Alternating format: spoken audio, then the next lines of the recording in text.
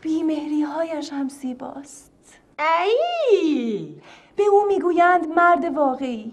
یگان دختر شاه لعبت الملوک به او دل میبندد. آن وقت اون محل سگم به ما نمی‌گذارد. خوشت میآید به تو محل سگ نمی‌گذارد؟ خیلی مادر جان. هر چقدر از این مردان آویزان و فرومایه بدمان میآید میمیریم برای مردانی که بیوفایی مرامشان است و بیمحلی کارشان. شوت خانم مردک دارد می‌رود. شوهر پرید. تمام عشقهای واقعی به فراق ختم می شود لیلی و مجنون شیرین و فرهاد لعبت و بلوتوس. ای وای یک عمر زحمت کشیدیم در نهایت یک خل و چل تحویل جامعه دادیم. سلام به خواهر نازنین تر از گلم. به به چه حلال زاده پیش پایت حرفت بود. ولی شنیدیم که داشتید درباره خلوزی حرف می‌زدید. دقیقا. راست می‌گویی خواهر.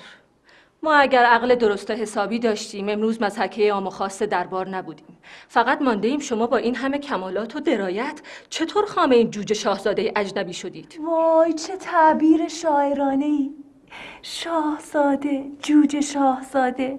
معصومیت و طفولیت نهفته در اشرافیت. درد بی درمون بگیری تو. و شنیدیم که شاهزاده داماد آینده قالتان گذاشت. داماد آینده مهمانی بود سرگشته و بیپناه که چند روزی سر سفره ما نشست. بعد هم راهیش کردیم رفت. مهمان سفرهتان بود یا دلتان مهمان دلمان بود و هست. پایش در هواست. دو روز که بگذرد با سر به زمین می‌خورد. آنگاه می‌بیند که خیشانی جز ما کسی دور برش نیست. منظور؟ منظور این که خانواده دیلمی خانواده باگذشت و بردباری است. بیمهری ها را زود فراموش می‌کند. خودمان هم بیخودی را راضی می‌کنیم دیگر. آخه. حالا خب می توانیم راجع به این موضوع با هم صحبت کنیم خواهر جان. ببین جان. بانو. بانو. خانمش را فهمیدیم بعدش را بگو. بلوتوس. رفت مرد.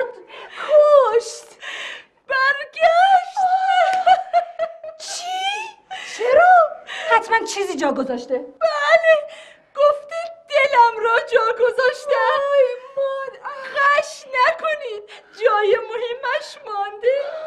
گفته می‌خواهم لوبت الملوک را ببینم. وای واقعا مادر. خواهر جان داری می‌روی در را هم پشت سرت ببند سوز میاد.